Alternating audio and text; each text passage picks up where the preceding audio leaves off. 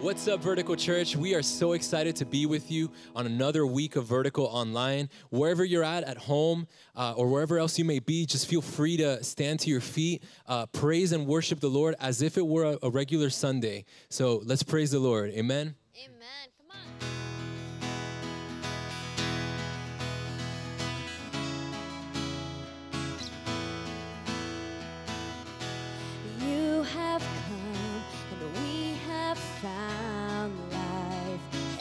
Everlasting.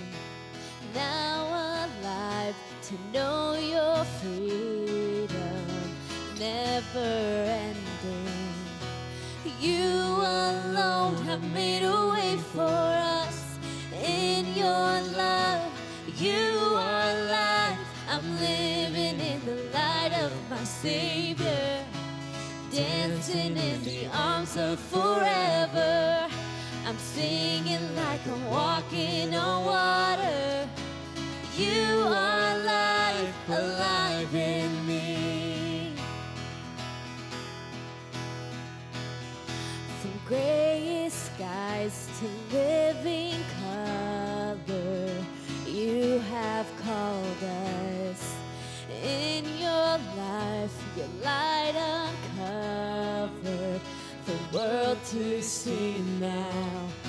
You alone have made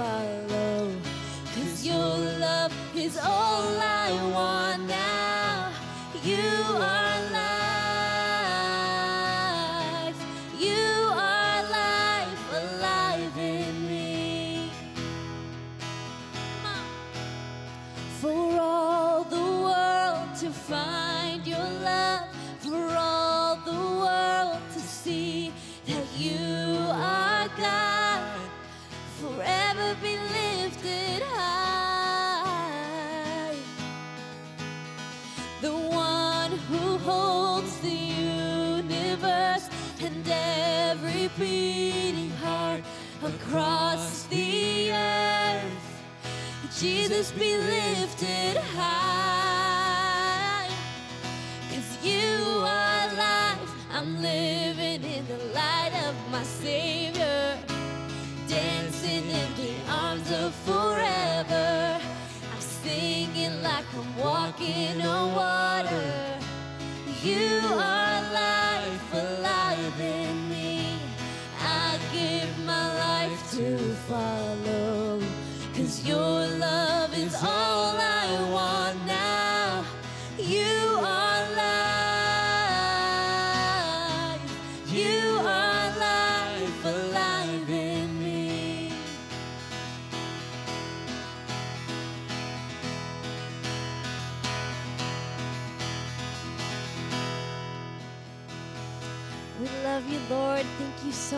this time, God, for this time to worship you.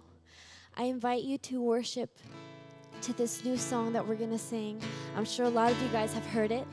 It's called The Blessing. And this song is a prayer. And during this time of, of, of adversity, this time of, of the unknown, I encourage you to just sing this song over your life. Um, it, it, in one part of the song it says Amen. And Amen, it, it means it's, it's almost like a like it, is sealed it is um, it, it's like a declaration of, of this song. Um, it's like sealing the deal right? And and if you really believe that in your life if you really believe that the lord's going to bless you and he's going to heal you and be with you then i invite you to sing this song. We love you lord Bless you and keep you. Make his face shine upon you. Be gracious to you. The Lord turn his face face towards you and give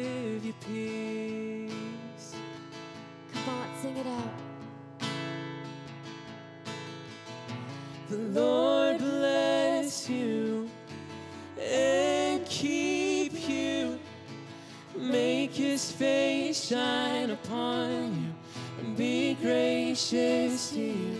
Lord turn his face towards you and give you peace. Come on, if you believe it, let's sing it out. Amen. Amen.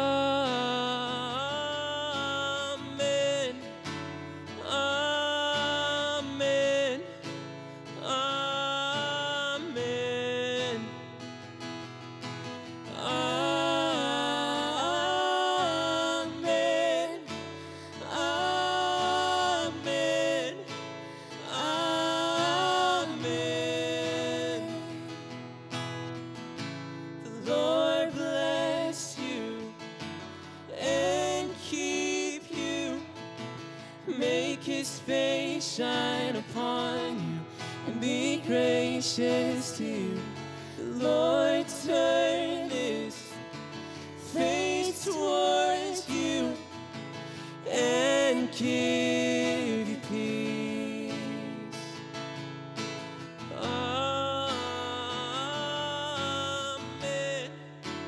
Amen. Amen. Come on, sing it out.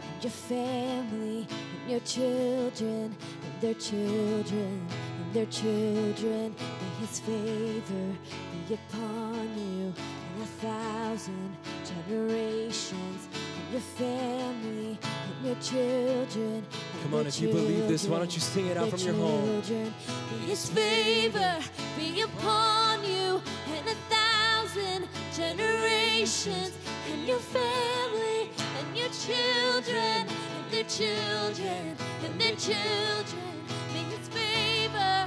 Upon you and a thousand generations, and your family, and your children, and their children, and their children. May His presence go before you, and behind you, and beside you, all around you, and within you. He is with you, He is with you in the morning, in the evening, you're coming, and you're going, and you're weeping and rejoicing. He is for you, He is for you, He is for you, He is for you, He is for you, He is for you, He is for you, He is for you.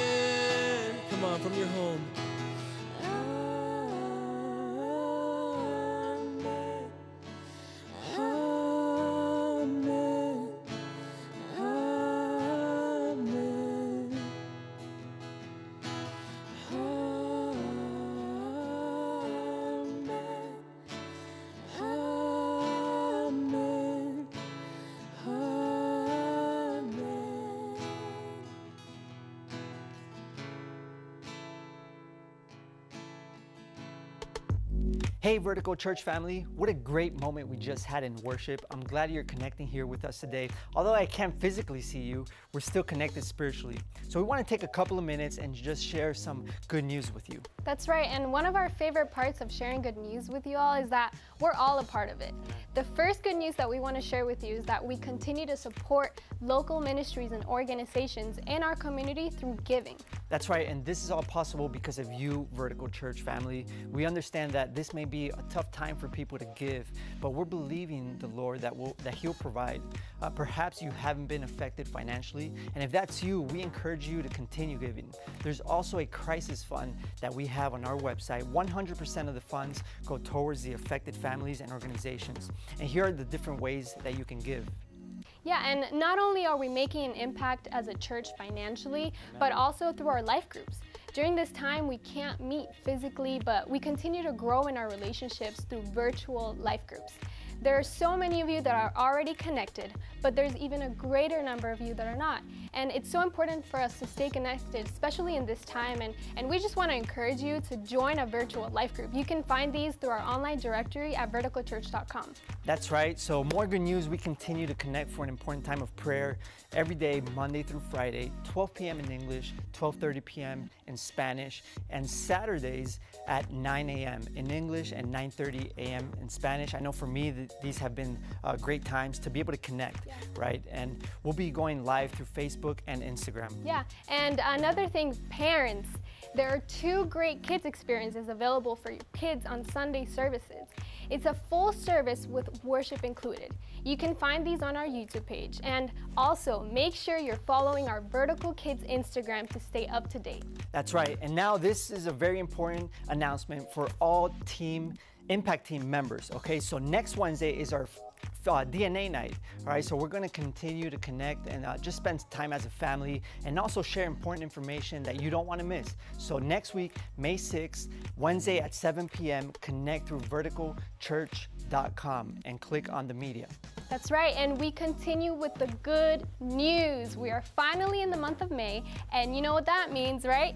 Mother's Day is oh, coming up, and we want to celebrate all the moms. So next week, we'll have a special Mother's Day service to honor all of our vertical mothers, so you don't want to miss it. And to make sure you don't miss any services of the Vertical Kids experience, subscribe to our YouTube channel, Vertical Social.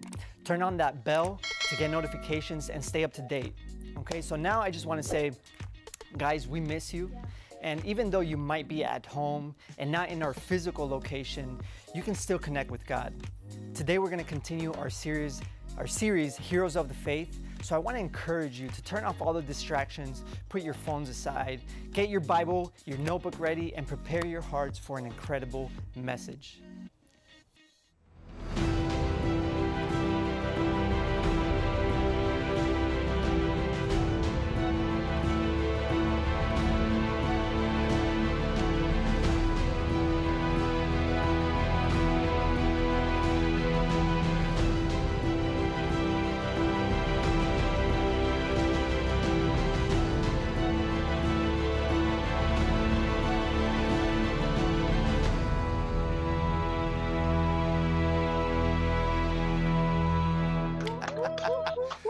Welcome, welcome. Vertical Church. It's so good to be here on Sunday, like a big family all over South Florida, all over the U.S., and all over the world. Uh, hey, if you're connecting with us for the first time, my name is Pastor Verge. Uh, my wife, Gislaine, and I have the blessing and the privilege of pastoring this wonderful church family, Vertical Church, exists to point people up to God, teach them to follow Jesus, and equip them to make a difference. We are one church, two languages. We do English and we do Spanish, and we have a big vision uh, to be a multicultural, multi generational, life giving church that opens up its doors to people of all backgrounds, believing that God has a purpose and a plan for every life. We feel a strong calling to make an impact in this world as a bilingual church. And so I just want to welcome everybody connected at home, everybody uh, that maybe is connected from wherever you might find yourself watching this message. We are so happy you're here. And I want to give a quick shout out to our Zoom audience. Hey, Zoom audience, can you all say hello, vertical? Ready? One, two, three. Hello, Vertical. That's it. That's it. Hello, Zoom audience. Thank you guys for connecting live in this service. Um, man, I want to just say that as, a, as pastors, we feel so privileged and so blessed to be part of such a special church family. Um, I, I really want to honor my wife, Pastor Gislaine brought a fire word last Sunday. She brought that teaching on Deborah and being courageous and, and being people who encourage each other. Uh, we were so blessed by that message. I also want to take a moment and honor you guys, honor our church. Uh, my wife and I and my kids received a, uh, a loving, life giving parade uh, last uh, Saturday uh, of people from our church. Many of you who came by drove in front of our house and, and were beeping and honking and had posters just blessing us as your pastors. We felt so loved, so blessed, so surprised, and so encouraged. So, just on behalf of my family, thank you for supporting us and praying for us as your pastors. We feel extremely loved and extremely well supported uh, from our church family. We love you. Thank you, thank you, thank you, thank you for honoring us and blessing us uh, in that way. So, today we're continuing in part three of our Heroes of the Faith series. Now, this is a great series because we're, we're taking a look at, at different heroes of the faith throughout the Bible. Uh, and this series is really an encouraging series. It's a motivating series, and it helps us get in the Word. The, the, the key, the key verse, or, or the, the heart verse for the series is Hebrews chapter 12, verse 1, which says, Therefore, since we are surrounded by such a great cloud of witnesses, let us throw off everything that hinders and the sin that so easily entangles, and let us run with perseverance the race marked out for us. So, the goal of this series is to listen to the voices of those who already finished their race and get advice for our race because the reality is we are still running this race called life. The Bible uses that example multiple times throughout the New Testament. And those who have already run the race will always see it from a better perspective than those who are actually running in it.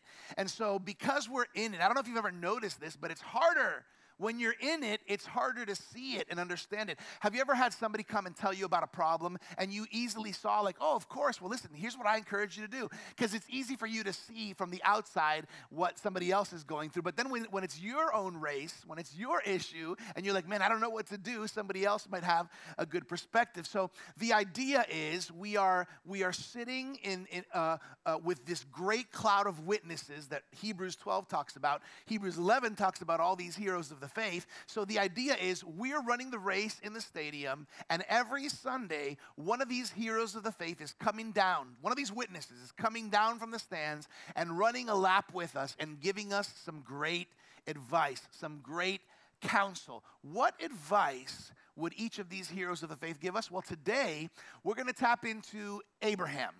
We're going to talk about Abraham, also known by many as Father Abraham, father of the faith. So uh, I want to take a moment and I want to just I want to just pray um, and and um, at the end of this prayer, I want all my Zoom my Zoom audience to give me a good. I'm going to say, "In Jesus' name, we pray," and I want to hear a big amen. All right, so let's pray. Lord, we just come before you today, asking you to speak to our hearts. We pray that the seeds of truth from your word would land in fertile hearts today, and I pray that these seeds would grow, that they would flourish, that they would give much fruit, Lord. Uh, we just pray that our hearts would be receptive, that our minds would be receptive and open, and that we would learn what we need to learn from you. Thank you for your presence, and thank you for the power of your word. In Jesus' name, we all pray. Amen. Amen. Amen. Thank you very much. So, we're going to talk about Abraham today, and Abraham is known as the father of faith. Now, now, faith is faith is that ability that even when you don't have any idea what's going on, you can still move forward trusting. Faith is the ability to trust. And the message uh, today is really for, for when you don't understand God. And if you're taking notes, I know a lot of you like to take notes or you're following in on our, on our Vertical Church app or website. Here's the first, the first thing that I want us to talk about. When you don't understand God's ways, God always does the right thing. And I want my Zoom audience to help me with the right thing. Ready? One, two, three. God always does the right thing. The right thing. God never does the wrong thing, He always does the right thing. Why do we teach this? We teach this because many times we have thoughts that God is not doing the right thing. Sometimes we're saying, Are you sure, God? and so we're going to look at three different stories from Abraham's life, and we're going to talk about how we can increase our faith and trust God. You know, some people say or believe that Christians have blind faith. You know, Christians just, oh, you just you just have blind faith. And, and it's not really a blind faith. I, I'm not a person who's just gonna be a fool that just does whatever. No, no, no, no. I'm trusting that God is so much bigger than I am, and there is so much more to him that there are simply some things that I'm never going to be able to understand. So I choose to understand this, to get to a point where I'm okay knowing later. And that, that might be a good word for somebody today, because trusting God means that I have to understand sometimes it's okay for me to know later. I might not know right now exactly why this is important. For example, I want my kids to trust me and to be okay with knowing later because my kid, who maybe is in fifth grade or sixth grade or second grade, uh, I might say, You have to go to school, you have to do your schoolwork. And they might say, But why? Why? And I say, Just trust me. Later on, they might not get it now how important school is and education is, but later on, they'll be able to know why later. They just need to trust me now. And so, in the same way, we have to be okay with the parts of God and the world that we don't currently understand. We've all experienced times when we thought God didn't make sense. You know, all kinds of world situations. Doesn't always make sense. This situation, th- this whole uh, global pandemic, coronavirus, I mean, who, who imagined this in our, in our human minds? We might think this doesn't make sense. God, I don't get it right Uh, uh, when we when we suffer the loss of a loved one especially if it's if it's premature and, and, and it's like too early the person's young and you lose a loved one so many times the thought comes to our mind what's going on god this doesn't make sense or, or those times and moments in life where it seems like god didn't show up we all experience this and i want to look at the life of abraham and touch on various stories about his life and what we can learn today about his experiences that will help us run our races today. Genesis chapter 15. Genesis chapter 15, starting in verse 1. And it says, After this, the world of the the word of the Lord came to Abram in a vision. Do not be afraid, Abram. I am your shield, your very great reward. Okay, so pause for a second. God was coming to Abraham, uh, at that time, still his name was Abram, because he was coming to him because he was already discouraged.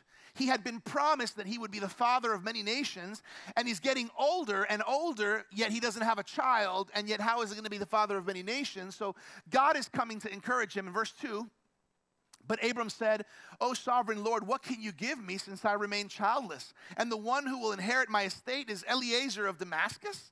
And Abram said, You have given me no children, so a servant in my household will be my heir. Then the word of the Lord came to him This man will not be your heir, but a son coming from your own body will be your heir. He took him outside and said, Look up at the heavens and count the stars, if indeed you can count them. Then he said to him, So shall your offspring be. Okay, so, so in this scenario, God has this dilemma. The dilemma is that you and I don't see all the time, we, we don't see it. He- He'll make his attempts to help us see it, but sometimes we don't see it. He tried to help Abraham here. Hey, listen, go outside, look at the stars. He tried to help him understand, but Abraham just couldn't see it. Sometimes in life, we begin to see it. Now, faith says, I will trust and believe even when I don't see it.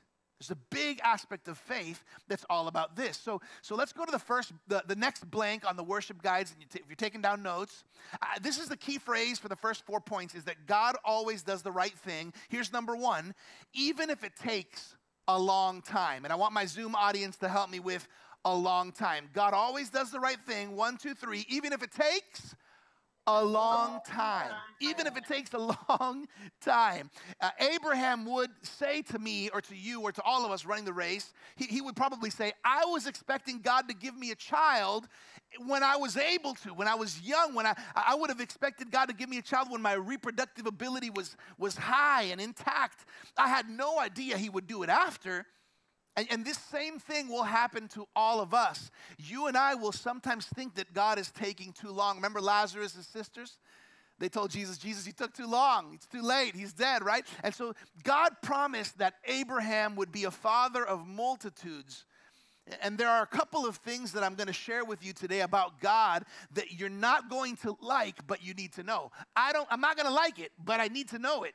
God is notorious for taking a long time.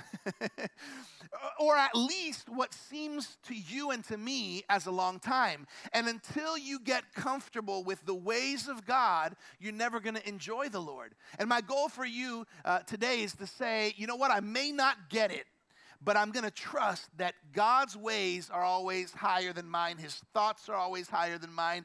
Abraham didn't understand the promise that God gave him. How do we know that he didn't understand? Because he took matters in his own hands. He and his wife Sarah saw that there was no child, they're getting older, so they came up with their own plan B. Let's help God. None of us have ever done that before, right?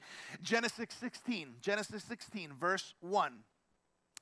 Now, Sarai, Abram's wife, had borne him no children, but she had an Egyptian maidservant named Hagar. So she said to Abram, The Lord has kept me from having children. Go, sleep with my maidservant. Perhaps I can build a family through her. Abram agreed to what Sarai said. Now, we all that have read this before know that this was a very dangerous decision there was a baby named Ishmael who was born. He is the father of all of the, Ab- the Arab nations. And Abraham's lack of patience cost him a lot. And we're seeing the effects of that decision even to this day with all of the dissension between the people of Israel and the Arab nations. Uh, our timing and God's timing are rarely the same.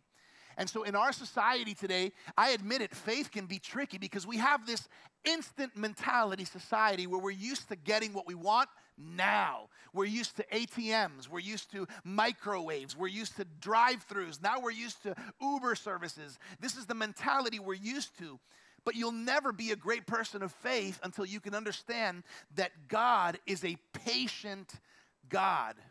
It reminds me of a joke that I heard once. Uh, a guy asked God, Hey, God, what's a million dollars like to you? And God said, it's, it's like a penny. Then the guy asked, God, what's a million years like to you? And the, God answered, Well, million years is like a second. Then the guy said, Hey, God, can I have one of those pennies? And God said, Sure, just wait a second. I know, I know, it's a corny joke, but the reality and the truth is that God is a patient God, and sometimes we think He's taking too long. We read this verse last uh, uh, two weeks ago, 2 Peter 3 9. It says, The Lord is not slow in keeping His promise, as some understand slowness, because that's how we understand it sometimes. Instead, He is patient with you, not wanting anyone to perish, but everyone to come to repentance. So our God is not slow the truth is that he's patient and he wants the, his kids to be patient too. Patience is the fruit of the Spirit, Galatians chapter 5. And, and even though we wish we didn't have to be patient, God is determined to work this out in our lives. So, so point number two God always does the right thing. Number two, even if it seems absurd even if it seems absurd. So I want everybody on, on the Zoom call, my live Zoom audience, you're gonna say absurd. I'm gonna say, even if it seems, you're gonna say absurd. One, two, three, even if it seems absurd, even if it seems crazy, even if it seems like, whoa, this is absurd. Every once in a while, God does some things that seem absurd to us. God waits till Abraham is 99 and Sarah is 89 years old, and then he says, okay, it's time now for them to have their child, right? And the Bible says that both of them laughed. But it wasn't a laughter of joy, like, oh, wonderful, my child is coming. No, it was a it was the laughter of like, yeah, right. Us have a baby, look how old we are. Genesis 18, following on the story. Genesis 18, verse 10. Genesis 18:10. Then the Lord said, I will surely return to you about this next this time next year and Sarah, your wife, will have a son. Now, Sarah was listening at the entrance to the tent, which was behind him. Abraham and Sarah were already old and well advanced in years, and Sarah was past the age of childbearing. So Sarah laughed to herself, and she thought, After I am worn out and my master is old, will I now have this pleasure? Then the Lord said to Abraham, Why did Sarah laugh and say, Will I really have a child now that I am old? Is anything too hard for the Lord? I will return to you at the appointed time next year, and Sarah will have a son. Now, now, can you imagine this? Can you imagine Sarah, 89 years old, with her other 80 or 90 year old friends saying, Hey girls, guess what? Can you imagine? Imagine the talk between her friends about Sarah getting pregnant at 89. Almost as if God was saying, I'm waiting till you're this old just to prove to you that there is nothing too difficult for me. I'm going to return, he says, at the appointed time at the appointed time. Hey, this is something that really has grasped my, my heart and my attention in these last couple of days. Did you know that God has an appointed time for everything? When you were born, that wasn't a surprise to God. When I was born, when, when, when, when we came to, that wasn't just random. No, no, it was God's appointed time. Can, can I just say something? Sometimes in life, we lose loved ones. And we never want to lose a loved one, but sometimes it's, it's God's appointed time. Sometimes we face pandemics. It's never on our agenda, hey, next year or hey, in three years, we should go through one of those global pandemics, right? Nobody puts that on their agenda, but God just has these appointed times. People also lose their lives. There's an appointed time, and I, I want to just remind all of us today if we can't trust God for this, we can trust God for nothing. At one point, we will all see our last day here on this earth, but as believers, we know that our last moment here means that our first breath there is close. And so, whether we're 20 or 50, whether we're 100 or 150, there is an appointed time. And I really want to say that as a, as a word of encouragement. Number one, because some of us have lost loved ones or will lose loved ones, or even in this situation. God is still in control. But also, God knows my appointed time. And so I don't have to live in fear.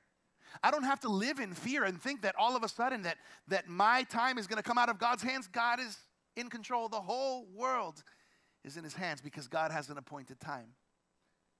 Check, check out, I want to check this out.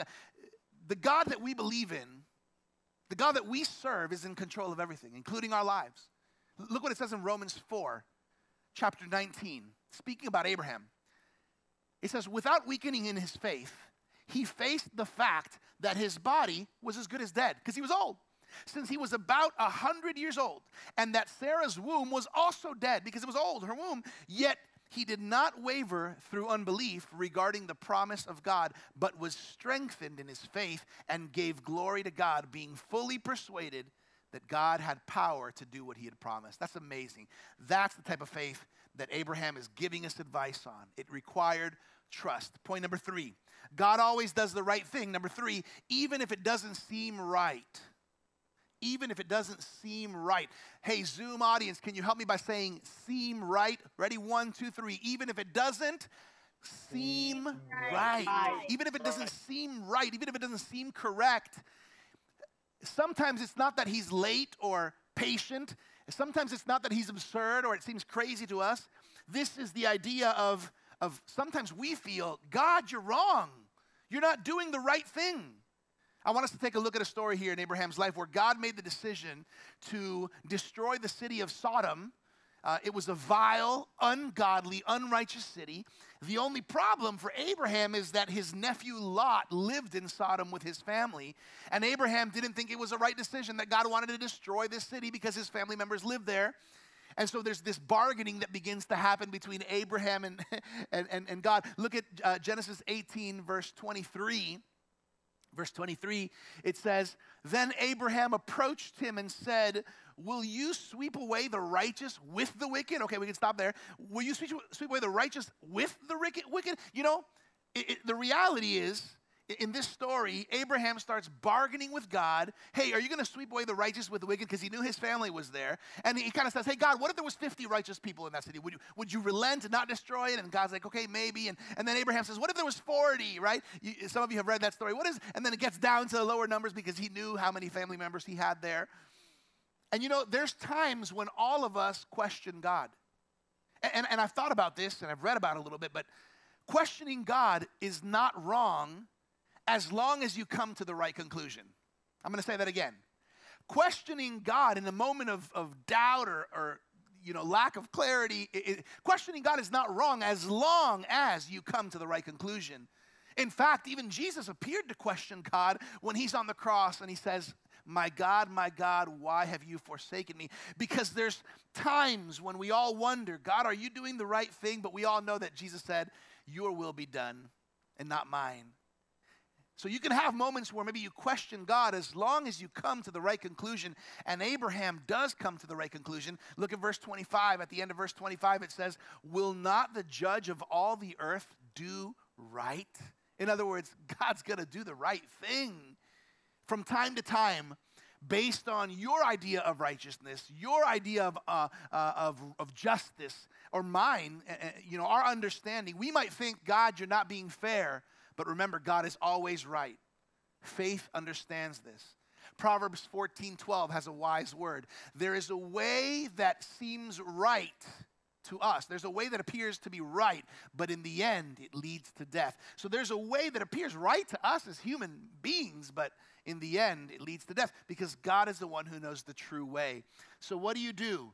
What, what, what do we do when two parties disagree? Well, you have to kind of decide to go with one or the other. What do you do when you and God disagree?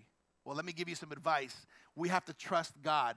We don't need to trust and agree with our own position. We need to trust and agree with God. Let's go to point number four. God is God always does the right thing. Number four, even if we don't understand.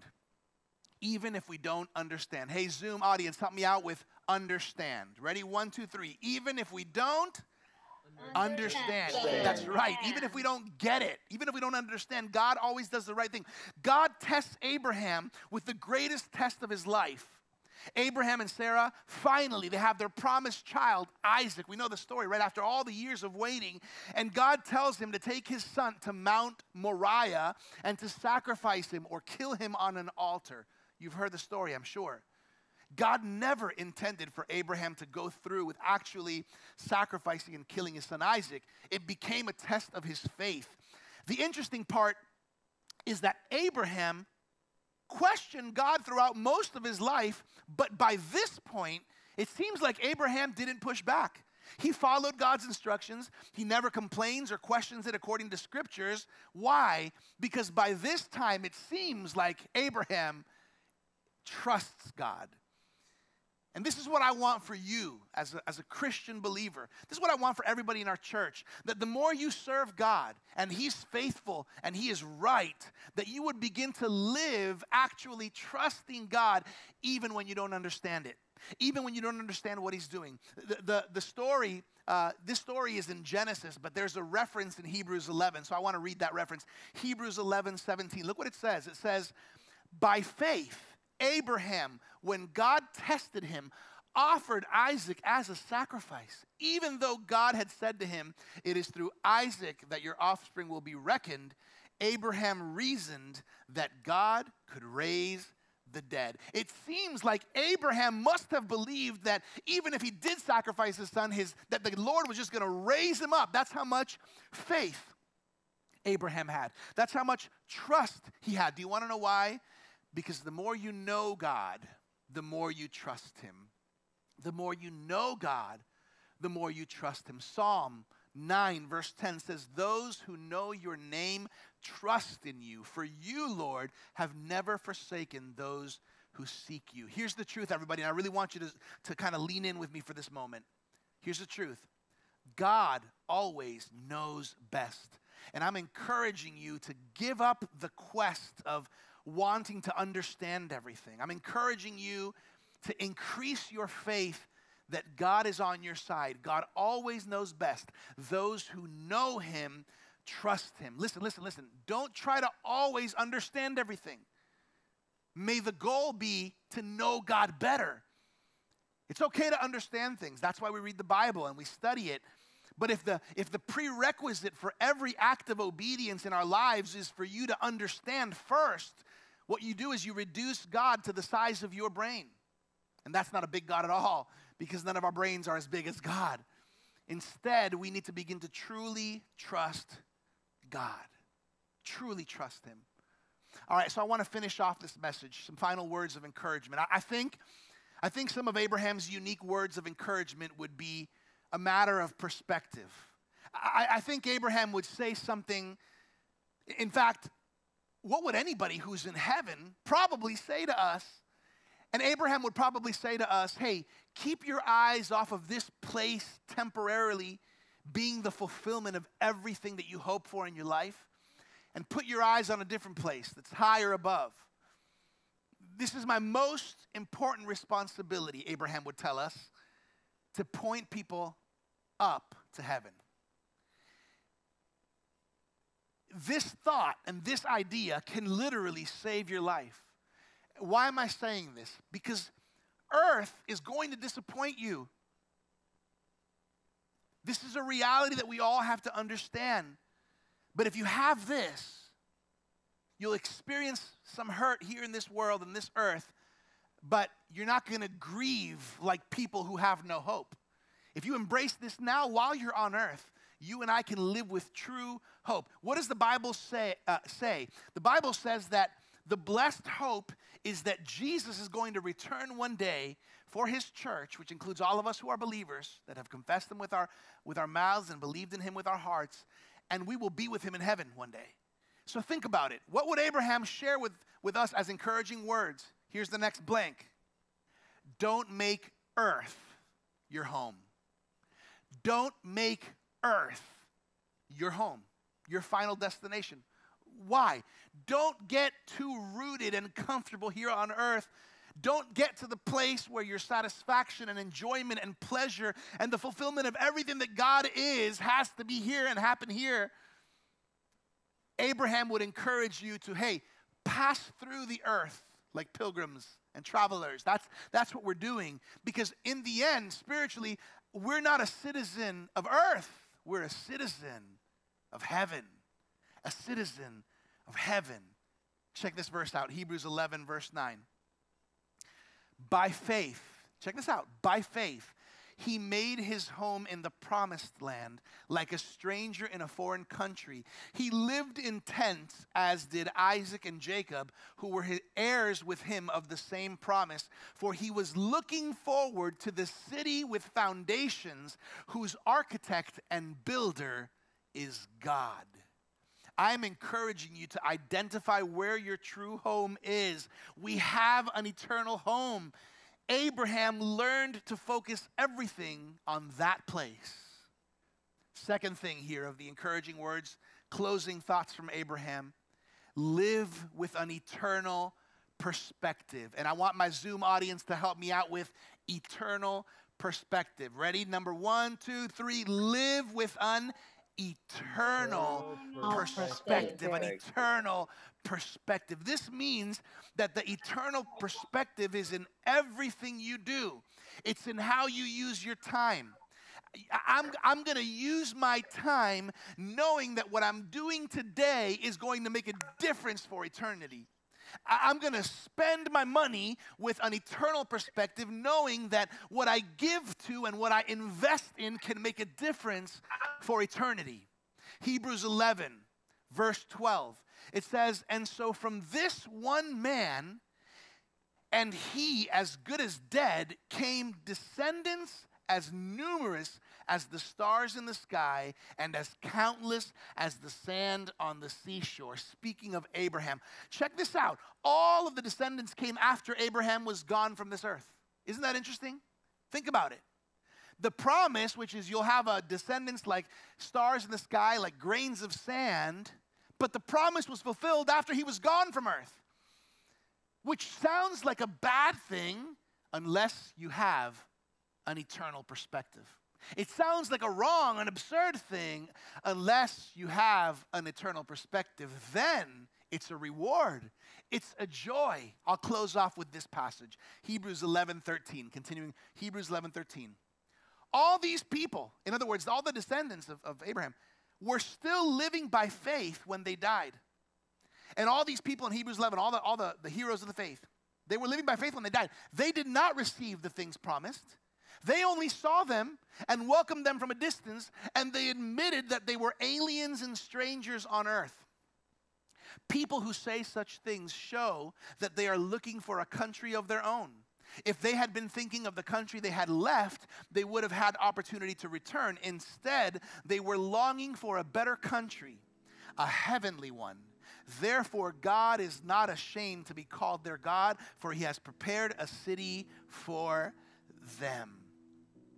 These heroes of the faith mentioned in Hebrews 11, they get it. And they want you and me to get it too.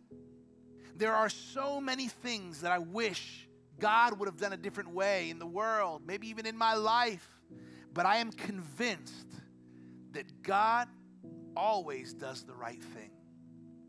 Hey, I really believe in my heart that if we are wise, we would take these these, uh, this advice and these words of wisdom and this counsel that Abraham would give us as we're running our race, and that we would really remember that God always does the right thing, even when it takes a long time, even when it seems absurd, even when it doesn't seem right, and even when I don't understand.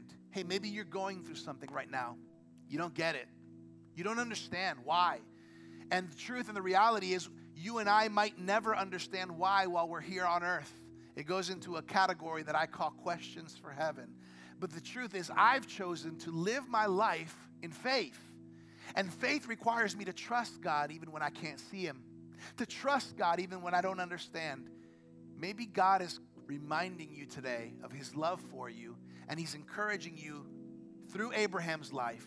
He's encouraging us to trust in God no matter how it looks, no matter how it feels, to trust in God. Let me pray.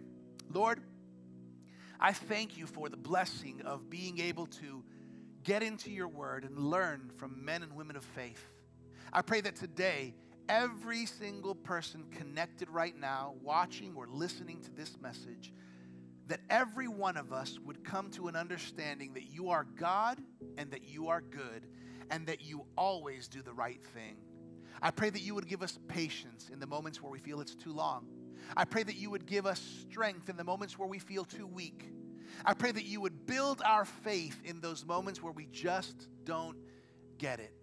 I hope and I pray, Lord, that we would develop a greater perspective of eternity, an eternal perspective, that we would not get cozy and comfortable here on earth, understanding where our final destination is, understanding where all your promises will be fulfilled, including heaven, salvation, and eternity with you. I pray these things in Jesus' name. Amen. I want to pray one more prayer. You might be connected today and maybe you feel far from God.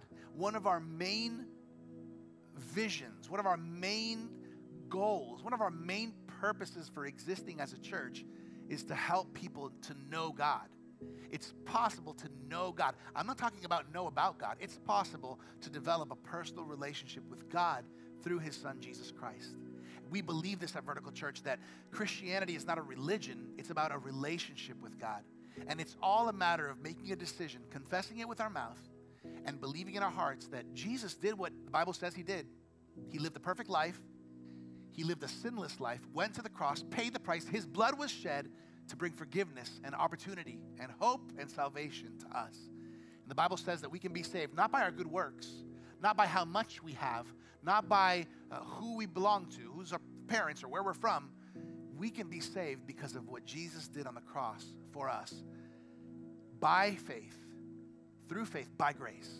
And so I want to pray right now this prayer, and I want to invite you. If you feel far from God and you want to draw near to God, or if you say, you know what, I, I've pulled far from God, I want to begin to truly know him. I want you to repeat this prayer with me. Everybody in all your houses or wherever you're listening to this, I want you to repeat this prayer for me. If you can honestly say, you know what, I, I know about God, but I don't know him personally, or I feel like I want God in my life to give me direction. I want to build that faith and I want to trust in him more. Say this prayer with me. Close your eyes and bow your heads with me and say, Thank you, God, for loving me, for forgiving me. I recognize today that I'm a sinner in need of forgiveness. Thank you, Father, for sending Jesus to die on the cross for my sins. I believe it in my heart and I confess it with my mouth that Jesus died and he rose again to give me life. Lord, forgive me, cleanse me. Holy Spirit, come into my life, make me a new person, renew my mind. Thank you, God, for loving me, for forgiving me, and for saving me today. In Jesus' name I pray. Amen. Amen. I am so proud of you. Thank you so much for making the best decision in your life and for connecting with us here at Vertical Church. Hey, hey, I'd like to get the Zoom audience. Can you all say, can you all say, have a great day to Vertical Church? Say, have a great day, Vertical Church. Ready? One, two, three. Have a great day, Vertical Church. Thank you for connecting with us. We love you guys. We love our church. We love the Lord. Stay connected. God has great things. He always does the right thing. We love you, and we'll see you next time. Wow, what a powerful message from